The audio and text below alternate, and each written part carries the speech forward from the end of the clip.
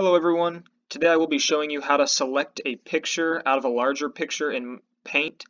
Um, so this is very similar to just cropping, but it's a little bit easier um, and can be sometimes faster. So the first thing you're going to want to do is just drop the picture in. So you can do this through File, up top File, and then import your picture, or you can just copy and paste pictures into Paint. It's one very nice feature about Paint.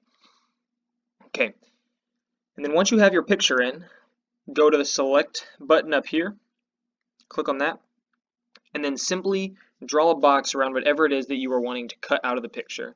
Today's example, um, our friend Tom Brady is going to be helping us.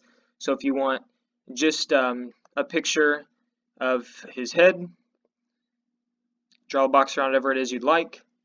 And then from there you can click, drag that picture out, or you can copy and paste that picture out and drop it into whatever else you would like, or you can save that individual snip. Thank you very much for watching. I hope you found this helpful.